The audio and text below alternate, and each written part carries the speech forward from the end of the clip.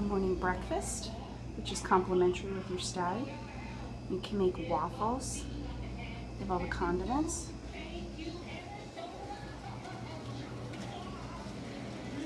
Fresh fruit. Sausage. Omelets. Cheese omelets they look like. Muffins.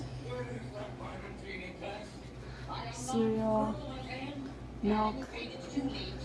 And of course everybody's favorite morning Joe. Orange juice.